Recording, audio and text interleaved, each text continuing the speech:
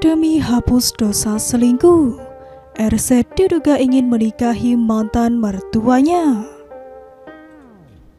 Setelah viral karena dipergoki perselingkuh dengan ibu mertuanya sendiri, RZ terus menjadi sorotan masyarakat.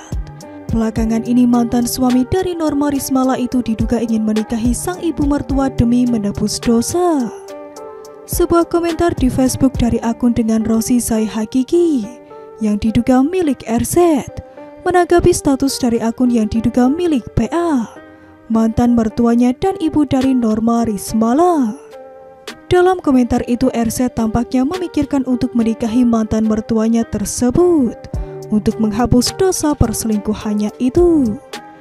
Apa saya harus menikahi mertua saya untuk menghapus semua dosa yang saya perbuat? Tulis akun diduga milik RZ itu.